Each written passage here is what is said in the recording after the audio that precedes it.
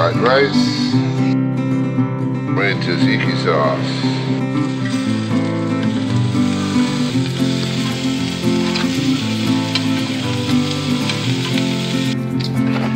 She's an oldie. I've had it for like 10 years.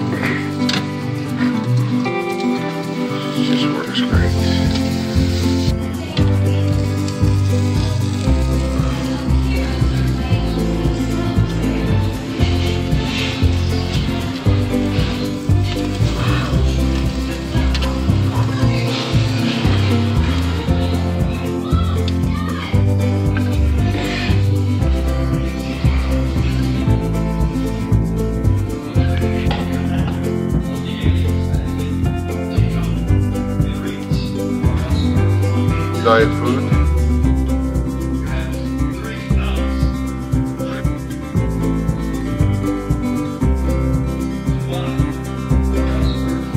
Diet food.